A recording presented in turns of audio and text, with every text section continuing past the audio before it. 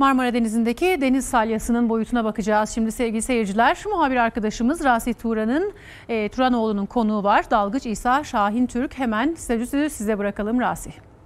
Denizin üzerinde biz görüyoruz deniz salyasını ancak denizin altında da deniz salyası daha çok varlığını gösteriyor. Nedir denizin altında durum? Maalesef bu aralar daha çok görün, görülmeye başlandı salyalar. Ama her yıl bizim yaşadığımız bir sorun bu. Denizin altında sürekli oluşuyor. Su kirliliğinden dolayı her yıl var ama bu yıl daha da arttığı için yüzeye kadar çıktı. Ee, aynı zamanda salyalar e, tüm denizlerde sorun. Yani e, şehirlere kıyısı olan denizlerin hepsinde bu salyaları görebiliyoruz. Marmara'da yüzeye çıkmasının sebebi de nüfus sürekli artıyor. Ee, daha çok atık su üretiyoruz, daha çok kimyasal kullanıyoruz ama bunlar e, demek ki daha az arıtılıyor. O yüzden bunlar yüzeye çıkacak kadar artmaya başladı. Suda oksijen olmadığı için balıklar daha uzaklara gidiyor. Bunun son zamanlarda gündem olmasının sebebi de artık yüzeye çıkması. Normalde Mart ayında da vardı bunlar. Biz dalışlarda sürekli görüyorduk. Şu anda da var ama güneş arttıkça oksijenle bunlar yüzeye çıkıyor. Bu yüzden de artık insanların manzarası bozulduğu için biraz gündem oldu açıkçası. Şimdi dalgıç İsa Şahin Türk'le beraber Daksar ekibinin botunun üzerinden denizin altına giriş yapacağız ve deniz salyasını denizin altında da görüntüleyeceğiz. Müsilaj yapısı itibariyle hava geçirmiyor. Burada gördüğünüz hava kabarcığı müsilajın içerisine hapsolmuş durumda.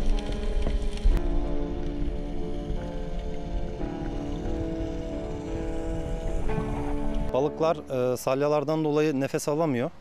Çünkü salyalar e, sudaki oksijeni oluşturan fitoplanktonları e, yok ediyor. Yani onların yaşamasına imkan vermiyor.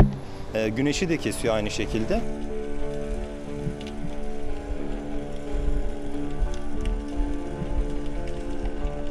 Sardalya, hamsi gibi küçük balıkların beslendiği fitoplanktonlar e, salyalar tarafından sarıldığı için e, balıklar beslenemiyor ve o bölgeden uzaklaşıyorlar. Küçük balık uzaklaşınca akabinde büyük balıklar da gidiyor. Balıklar ya derine ya da uzaklara kaçıyor. Bu yüzden dalışlarda paylaştığımız görüntüler daha çok kirlilik oluyor. Arıtımın artması e, ve suların temizlenmesi biraz daha denetimlerin artırılması gerekiyor. Yani normalde dışarıdaki atılan çöpler, e, plastikler bunların hepsi denize ulaştığı için e, pis bir ortamda fitoplanktonlar rahat üreyemiyor ve bu şekilde salyaya dönüşüyor. E, bu yüzden insanların da daha bilinçli olması, çöplerini çöp tenekesine atması ve kıyıya yakın yerlerde özellikle denize bir şeyin düşmesine engel olmaları gerekiyor. Bireysel olarak da bize çok görev düşüyor tabii.